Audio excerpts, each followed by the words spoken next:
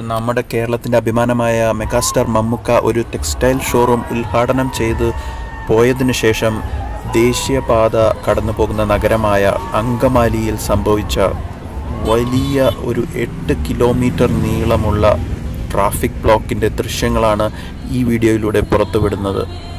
അങ്കമാലി എന്ന നഗരം സ്വാഭാവികമായി തന്നെ ഒരു ട്രാഫിക് ബ്ലോക്കുള്ള ഒരു നഗരമാണ്.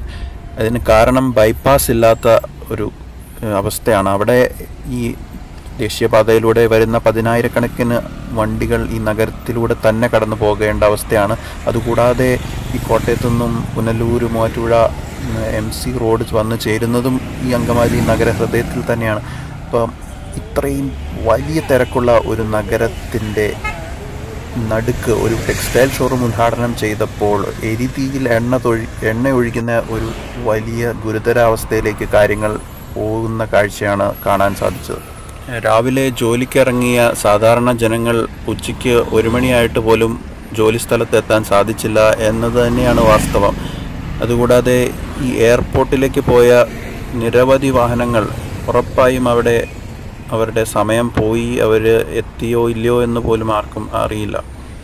കിലോമീറ്ററുകൾ നീണ്ടുന്ന ഈ ബ്ലോക്കിൽ അകപ്പെട്ട് മണിക്കൂറുകൾ കിടക്കേണ്ട അവസ്ഥ വന്നപ്പോൾ നട്ടം തിരിഞ്ഞ ജനങ്ങൾ ചിലരൊക്കെ ഇതേ ഇതേ ഇപ്പോൾ കാണുന്ന പോലെ ലൈനൊക്കെ തെറ്റിച്ച് റോങ് സൈഡിൽ വണ്ടി ഓടിച്ച് പോകുന്ന അവസ്ഥ വരെ കാണേണ്ടി വന്നു. പതിനായിരക്കണക്കിന് ജനങ്ങളാണ് ഓഗസ്റ്റ് പതിനൊന്ന് രാവിലെ മുതൽ ഉച്ച കഴിഞ്ഞ് രണ്ട് മൂന്ന് മണി വരെ ഈ നഗരത്തിൽ അകപ്പെട്ടു പോയത്.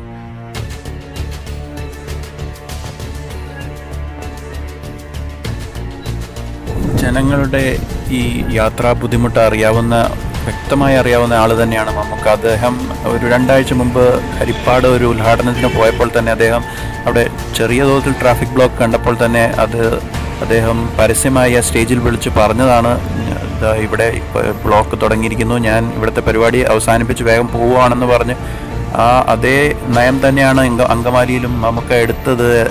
എനിക്ക് പറയാനുള്ളത് ഇപ്പം ഈ ഈ മമ്മൂക്ക വരെ ആ ബ്ലോക്കിൽ പെട്ടു എന്ന് തന്നെയാണ് അദ്ദേഹത്തിന് തിരിച്ച് പോകേണ്ട ആ റൂട്ടിലും ബ്ലോക്ക് ഉണ്ടായി അപ്പോൾ ഇത് ഈ- ഇതുപോലത്തെ വലിയ പരിപാടികൾ ഈ ഗതാഗത കുരുക്കുള്ള സ്ഥലങ്ങളിൽ സംഘടിപ്പിക്കുമ്പോൾ അത് അതിന്റെ ഉത്തരവാദിത്തമുള്ള ആളുകൾ അതിനെപ്പറ്റി ശരിക്കും വിശകലനം ചെയ്ത് അത് അങ്ങനെ ഒരു പരിപാടി ഇതുപോലെ വലിയ ഗതാഗതക്കുരുക്കുണ്ടാക്കുന്ന ദേശീയപാത കടന്നു പോകുന്ന നഗരങ്ങളിൽ നടത്തേണ്ടതിന്റെ ആവശ്യകത അതിന്റെ പ്രായോഗികത വ്യക്തമായി പഠിച്ച് മനസ്സിലാക്കേണ്ടത് വിലയിരുത്തേണ്ടത് അത്യാവശ്യം തന്നെയാണ്. ഇപ്പോൾ വേറെ ചെറിയ പട്ടണങ്ങളിൽ ഇതുപോലെ ചിലപ്പോൾ ഇങ്ങനെ പോലീസുകാരെ വെച്ച് ഈ ട്രാഫിക് പയ്യെ കൺട്രോൾ ചെയ്ത് വിടാൻ വിടാൻ പറ്റുന്ന ഒരവസ്ഥയായിരിക്കാം. പക്ഷേ ഇത് അങ്കമാലിയാണ്. ഇത് N H forty seven national highway ഓരോ സെക്കൻഡിലും ആറേഴ് വണ്ടികൾ ചീറിപ്പാഞ്ഞു പോകുന്ന ഒരു ഹൈവേയുടെ തൊട്ട് അടുത്തായിട്ട് ഇതുപോലെ ഒരു പരിപാടി സംഘടിപ്പിച്ചാൽ അത് ഉറപ്പായും വലിയ ഒരു പത്തിരട്ടി ട്രാഫിക് ബ്ലോക്കിലേക്ക് നയിക്കുമെന്നുള്ളത് വളരെ സ്വാഭാവികമായി അറിയാവുന്ന ഒരു കാര്യമാണ്.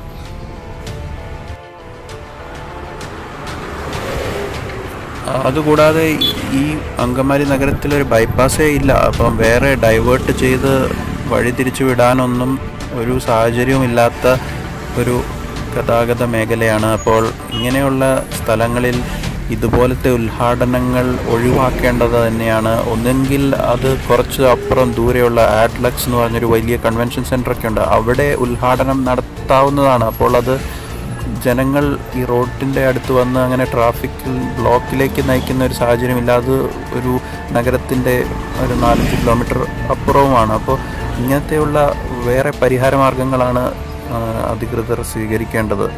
ഇത് ശരിക്കും ജനങ്ങൾ പതിനായിരക്കണക്കിന് ജനങ്ങളാണ് ആ അങ്കമാലിയുടെ വടക്കും തെക്കും ഭാഗത്ത് ഒരു നാല് കിലോമീറ്റർ അങ്ങോട്ടും നാല് കിലോമീറ്റർ ഇങ്ങോട്ടും നീളത്തിൽ സ്തംഭിച്ച് അവിടെ ഇങ്ങനെ പയ്യെ എഴഞ്ഞഴഞ്ഞ് നീങ്ങിക്കൊണ്ടിരുന്നത്.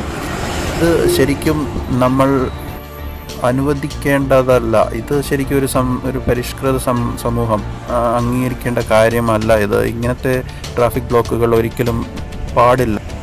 ഈ ജനങ്ങൾക്കുണ്ടാകുന്ന ആ ബുദ്ധിമുട്ട് വളരെ അധികമാണ്. നമ്മൾ അതിനെപ്പറ്റി ചിന്തിക്കാത്തതാണ് ഈ യാത്രയ്ക്ക് പോകേണ്ട ജനങ്ങളൊക്കെ രണ്ടും മൂന്നും മണിക്കൂർ വൈകിയാണ് എത്തുന്നത്. അതുകൂടാതെ ഇങ്ങനെ വണ്ടി ഓടിക്കുന്ന ആൾക്കും പത്തിരട്ടി പ്രയാസങ്ങളാണ്. പിന്നെ ഈ ഇന്ധനം ഒരു നാലരട്ടിയെങ്കിലും അധികം ചിലവാവുന്നു.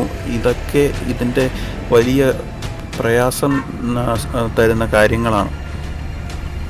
അതുകൂടാതെ ഇപ്പോൾ പോലീസുകാരുടെ സ്ഥിതി എടുത്താൽ തന്നെ അവർക്ക് ആ ദിവസം മൊത്തം കഷ്ടപ്പാടിന്റെ മണിക്കൂറുകളായിരുന്നു. നിരവധി പോലീസുകാർ ഈ അങ്കമാലിയിൽ ചെറുതും വലുതുമായ പല ജംഗ്ഷനുകളുണ്ട്. അവിടെയൊക്കെ നിന്ന് അവർക്ക് റെസ്റ്റ് ഇല്ലാതെ അവർ ഈ വെയിലത്ത് നിന്നാണ് ഈ- ഗതാഗതം ഈ വണ്ടികളെ ഇങ്ങനെ അങ്ങോട്ടും ഇങ്ങോട്ടും തിരിച്ച് വിടാൻ ഉള്ള നിർദ്ദേശങ്ങൾ കൊടുത്തുകൊണ്ടിരുന്നത്. അപ്പോൾ ഇത് എല്ലാ വിഭാഗം ജനങ്ങൾക്കും ഇത് വലിയ ബുദ്ധിമുട്ടാണ് ഉണ്ടാക്കിയത്. അങ്ങനെ കിലോമീറ്ററുകൾ നടന്ന അവസാനം ഈ ഉദ്ഘാടനം നടന്ന ആ ടെക്സ്റ്റൈൽ ഷോപ്പിന്റെ അടുത്തെത്തിയിരിക്കുകയാണ്. അവിടുത്തെ ആ പൂരപ്പറമ്പായിരുന്ന ജനങ്ങളെല്ലാം പിരിഞ്ഞുപോയി. ഇപ്പോൾ അവിടെ ഈ ആദ്യത്തെ സെയിൽ നടക്കുന്ന കാഴ്ചയാണ്.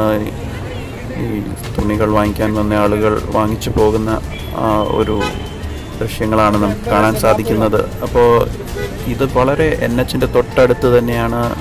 ഇത് വളരെയധികം ഗതാഗത കുരുക്ക് ഉണ്ടാകുന്ന ഒരു സിഗ്നൽ പോയിന്റ് കൂടിയാണ്.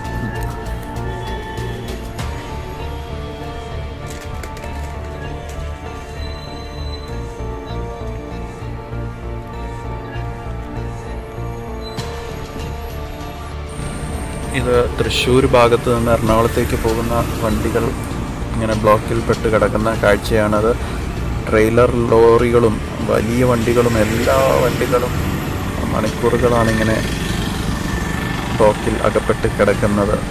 അപ്പോൾ ഇതിന്റെ ശരിക്കുള്ള ഒരു ആകാശ ദൃശ്യം വല്ല ഡ്രോണിലൊക്കെ എടുക്കുമായിരുന്നെങ്കിൽ ഇതിന്റെ കറക്റ്റ് ആ വ്യാപ്തി മനസ്സിലാക്കാമായിരുന്നു. നമ്മുടെ ഗൂഗിൾ മാപ്പിലൊക്കെ നോക്കുമ്പോൾ എല്ലാം റെഡായിട്ടേ കാണുള്ളൂ അത്രയ്ക്ക് വലിയ കുരുക്ക് തന്നെയായിരുന്നു നീണ്ട് ഈ ദേശീയപാതയിലൂടെ നമുക്ക് കാണാൻ സാധിച്ചത്.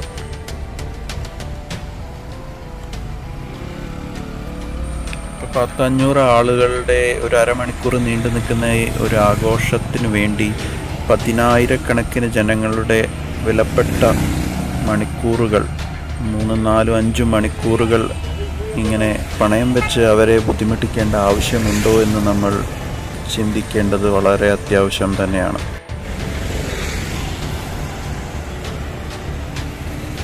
ഓഗസ്റ്റ് പതിനൊന്നിന് നടന്ന ഈ വലിയ ആഘോഷ പരിപാടിയുടെ നിരവധി വീഡിയോകൾ സമൂഹ മാധ്യമങ്ങളിലുണ്ടെങ്കിലും ഈ പരിപാടി നടത്തിയത് മൂലമുണ്ടായ ഈ ഗുരുതരമായ ഗതാഗത കുരുക്കിനെക്കുറിച്ച് യാതൊരു വിവരവും ആരും ഷെയർ ചെയ്തിട്ടുമില്ല പ്രതികരിച്ചിട്ടുമില്ല. ഇങ്ങനെയൊക്കെ ജനങ്ങളെ പതിനായിരക്കണക്കിന് ജനങ്ങളെ ബാധിക്കുന്ന ഈ വലിയ പ്രശ്നങ്ങളാണ് നമ്മൾ അധികാരികളുടെ മുന്നിൽ എത്തിക്കേണ്ടത്. അങ്ങനെ ഈ ഗതാഗത കുരുക്കിനൊരു ശാശ്വതമായ പരിഹാരം എത്രയും പെട്ടെന്ന് തന്നെ ഉണ്ടാകേണ്ടതാണ്.